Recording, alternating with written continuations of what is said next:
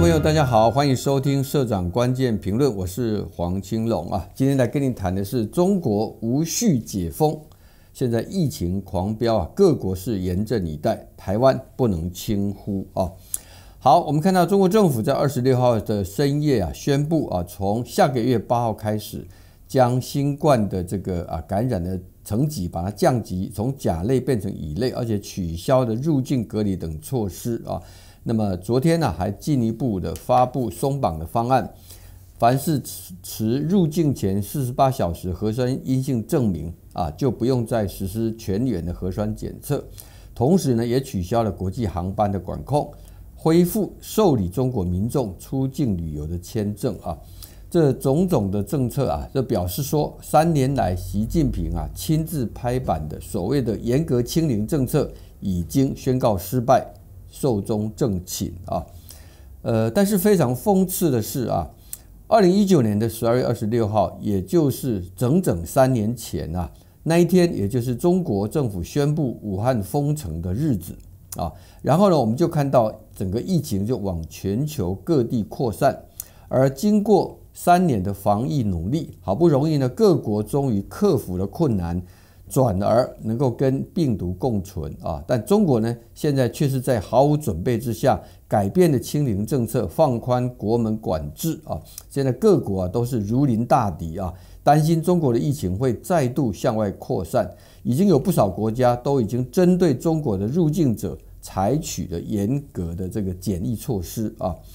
日本啊是动作很快，二十七号他们紧急宣布啊，从三十号开始要加强入境防疫措施，要求从中国到日本以及七天内去过中国的人呐，入境的时候都必须要裁剪啊，如果是阳性者就要隔离七天啊。根据共同社报道说，日本首相岸田文雄呢，他在二十七号这一天，他以中国染疫人数骤增啊作为一个理由宣布了啊。这一项的一个措施啊，那么岸田他说啊，因为中国的中央跟地方还有政府跟民间呢，关于疫情的资讯呢存在很大的差异啊，所以呢很难掌握详细的状况，这导致日本国内的忧虑情绪加剧啊，所以呢现在日本政府限制啊日本跟中国之间的航班的数量，那么来自中国香港、澳门的航班仅限于。在东京的成田、羽田、关西以及名古屋中部机场这四个机场起降啊，那么目的就是要避免呢受到中国疫情升高波及啊。那么岸田特别强调说，这些临时措施啊，主要是为了避免啊染疫的患者迅速涌入日本啊。但是呢，政府将会根据后续的情况呢，采取灵活的应对做法啊。除了日本以外啊，也有不少国家担心中国的疫情哈。大家会很好奇哈，诶，这些国家难道他们为什么会担心这个呃中国的客人啊会成为新的感染来源哈？照理讲啊，他们不是应该要呃张开双手欢迎陆客来提振他们的经济吗？啊，好，我们先来看中国的措施之后的这个影响跟反应啊。自从他的国家移民管理局啊公告啊说，从明年一月八号开始啊恢复受理审批啊中国公民因出国旅游还有访友申请普通护照，这个消息出来了以后啊，消息公布十五分钟啊，国际机票瞬间的搜索量就增长了七倍啊，最热门的目的地呢是日本、韩国跟泰国啊。但是呢，就像哈日本首相岸田所担心的，因为中国的中央跟地方政府跟民间关于疫情的资讯存在很大的一个差异啊，那么外界很难掌握它的实际的状况啊。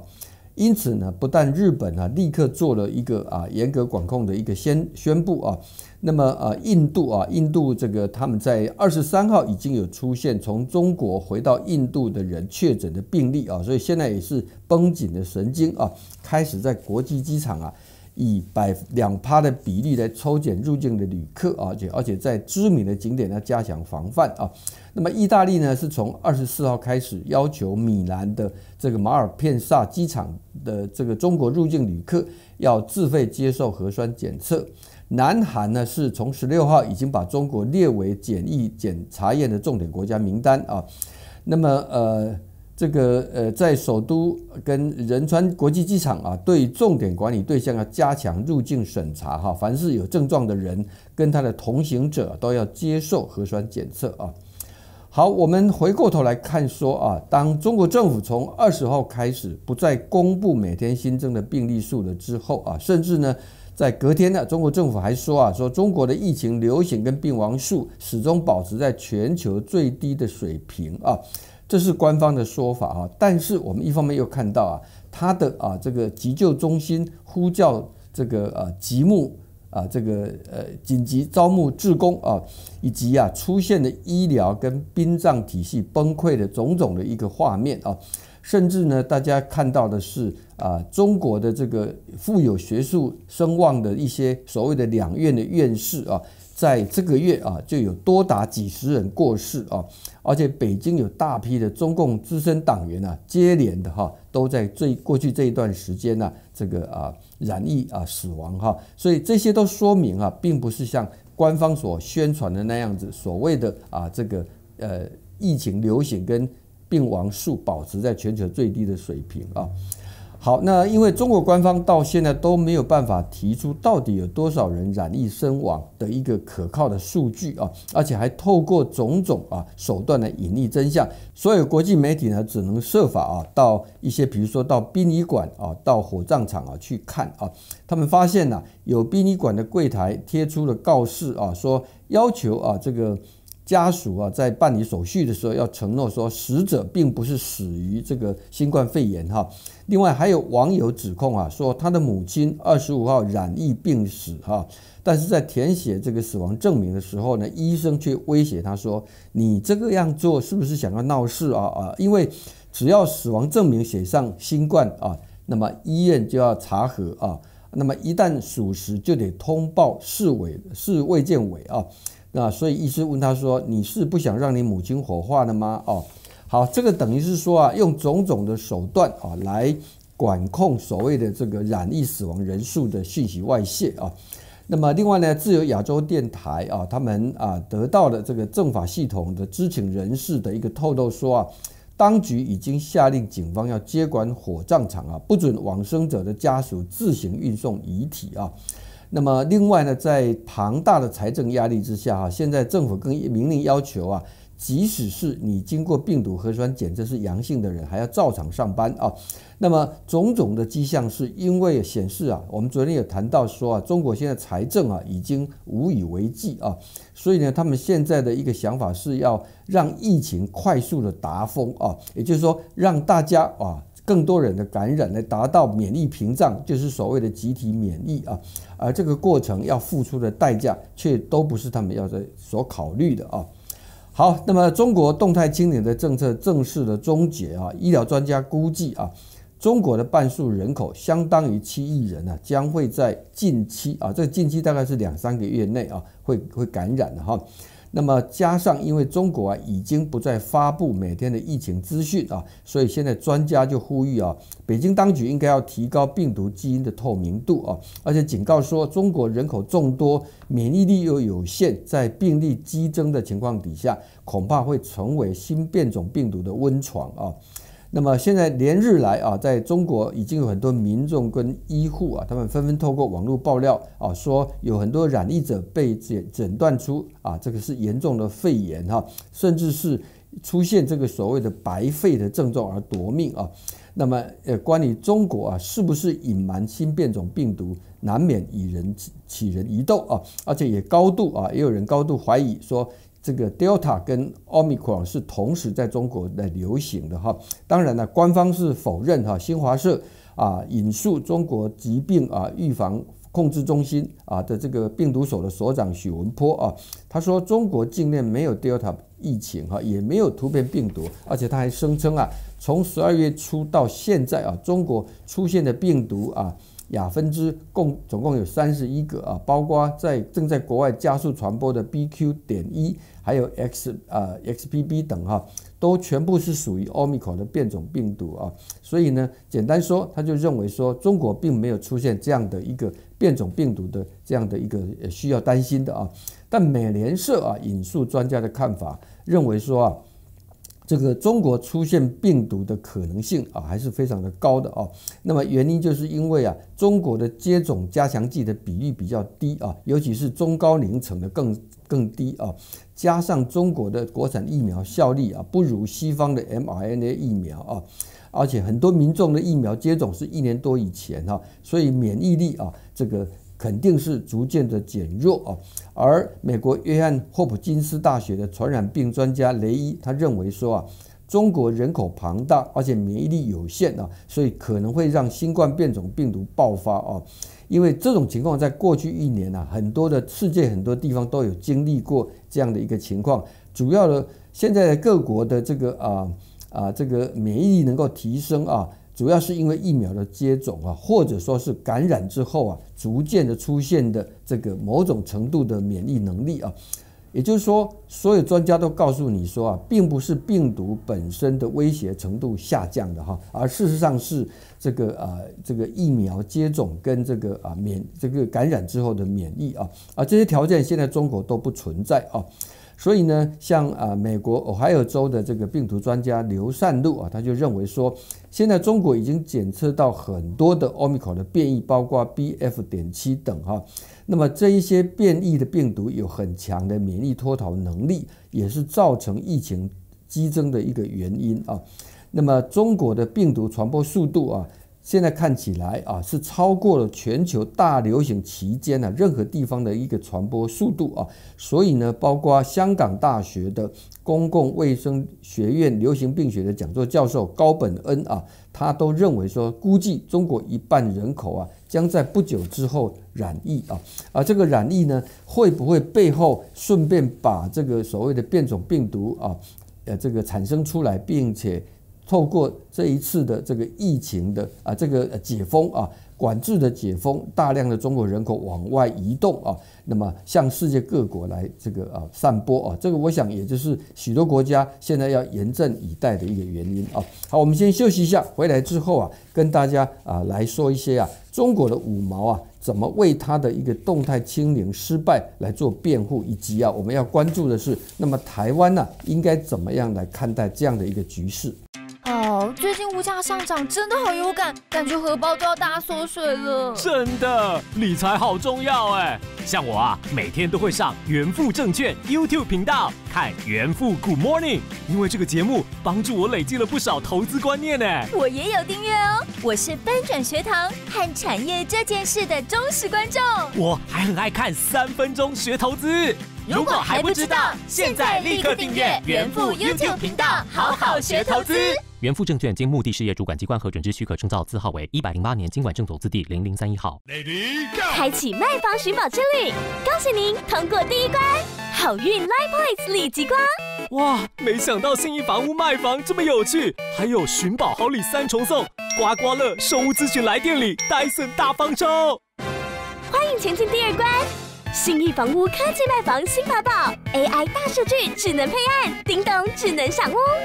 哇哇，也太多配对买方出现了吧！信义房屋为您的房子找到对的人。好，欢迎回到社长关键评论啊。那么我们连续几天都要谈中国的疫情哈。那么现在事实上动态清零是已经失败了哈。但是呢，中国的这个五毛啊，现在还在为他们的政策啊来做辩护啊。那么他们说了哪一些啊？这个精彩的啊，荒谬的这个言论啊，比如说第一个，他们说啊，中国动态清零啊，保护了老老弱病者好多年啊，延长了他们好几年的寿命啊。这个就是说啊，最近死亡的一些包括两院的院士啊，如果不是这个动态清零，可能早就死了啊。所以呢，说这样更证明了中国政府才是最以人为本啊啊，这是第一种说法啊。那么还有人说啊，中国现在并没有大规模的爆发啊，每天啊，你看政府公布都只有个位数的死死亡，而且呢，很多都是其他并发症造成的哈，所以呢，还是证明动态清零是正确的啊，中国还是这个战胜了世纪疫情哈，是最大的赢家啊。那么再来，还有人说啊，跟美国死亡超过百万人相比啊，中国现在的死人的数字微不足道啊，所以可见真的是东升西降啊，中国抗疫政策远比西方成功啊。但是当然，他们啊对于啊各国专业所评估的说，未来三个月中国可能会有一半的人口确诊，甚至有两三百万人死亡啊，他们是完全不相信的啊。然后呢，接着他说，世界各国啊人民对政府的抗疫政策都是不满的哈，但只有中国政府到现在还是有极高的民望，接近百分之百的支持度啊，可见中国最伟大啊。这个当然都不是实情哈，因为中国民众啊现在对政府的不满，事实上是恐怕习近平啊。执政十年来面临最高、最也是最现在最严重的一个挑战啊。然后呢，又有五毛说啊，中国现在解封啊，这是经过深思熟虑的结果啊，是故意等到全球疫情缓和、病毒变种减弱了啊之后才解封啊。这也证明动态清零已经达到了战略目标。所以就像习近平说的啊，已经一个新的啊这个阶段又来了哈。所以我们要怎样怎样等等，反正政府怎么做都对啊。然后呢，接着又说啊，中国经济在解封之后将会全面复苏啊，各国的投资啊蜂拥而至啊，那么中国将会重新夺回世界工厂的地位，而这反映出来，果然中国的举国体制啊，对经济发展能够收放自如啊，当然是有这样的体制优势啊。好，这一点的话，现在其实还要经过检验，因为现在各国对于中国接下来的经济发展，事实上是不乐观的啊。那么，甚至已经有评级机构啊，把中国原来可能超越美国的 GDP 啊，从原来的啊这个最乐观的二零二八年，已经延后到二零三六年了。这是英国的一个机构所讲的哈。好，那呃，然后呢，对于现在啊一些批评或者是担忧中国疫情的状况啊，他们这些五毛就说了，这是一小撮汉奸、洋奴、卖国贼哈。他们联手外国势力来抹黑中国啊！他们故意把中国伟大的抗疫成就说成啊这么不堪啊！说这种阴谋是绝对不会得逞的哈。好，在这个同时啊，除了五毛的言论之外啊，这个呃这两天呢，在中国也出现了一些跟抗疫有关的一些，可以说是让人家哭笑不得的黑色啊幽默的一个啊新闻哈。这个呃一个是浙江省台州市啊。市中心的医院哈，他们的电子看板啊，这两天以艳红色为为底哈，配这个烫金字啊，呃，这个挂出来说啊，热烈祝贺我院急诊服务人次突破两百万啊。那么呃，事实上是表示说啊，有那么多人进来看病，结果他们把它当作是医院的绩效啊。另外呢，河北省啊。邯郸市永年区啊，民政局哈，他们也是丧事喜办啊，说进入十二月以来，火火化场啊，以最强最强干劲完成了艰巨的火化任务，每天平均火化遗体量从一到十号的二十具以上，增加到了十八日的四十一具啊，说这个成就受到了群众的好评跟领导的肯定啊，所以呢，他们要决定。呃，给予啊火化场，因为他们的优异表现啊，给予全局通报表扬哈。这两件事情啊，啊都在网络上被中国的网民啊骂翻了哈。也就是说，当一个国家哈，你的资讯完全不透明啊，你垄断了一切的宣传的机器啊，把一切反对的声音都抓去坐牢，而且你无视科学数据，随便定义疫情哈。这种无耻而且是无敌哈，那这样讲的话，你当然什么都可以说是伟大胜利啊。好，那么呃来呃看听完了这个呃中国出现的一些让人家觉得非常荒谬的一些情况之外，我们要好好研究一下，那台湾呢到底要怎么样来进行啊？现在呢呃刚讲到说啊，这个其他国家都已经在强化对于从中国入境者的一个这个管控跟筛检啊。我们台湾现在还是维持现实现行的国境防疫措施了哈。那么呃，指挥中心发言人庄仁祥他是这么说的哈，他说日本啊本来是只看有没有接种三剂疫苗，不必筛检啊，现在是担心有大量的中国观光客入境啊，因此来啊增加了这个啊这个呃有确诊者要经先经过隔离啊这样的一个措施啊。但是他说台湾呢，我们目前的政策是。提供入境者四季快筛，然后每两天快筛阴性才能够出门哈，而且加上啊，我们只有这个持有居留证者，还有台商可以从中国入境啊，那么中国大陆的人呢，基本上是不能来台湾观光的啊，所以他们认为啊，不至于出现所谓的中国观光客蜂涌的一个情况，所以台湾还维持现行措施啊。好，那台湾的医务管理学会的理事长洪子仁啊，他分析说啊，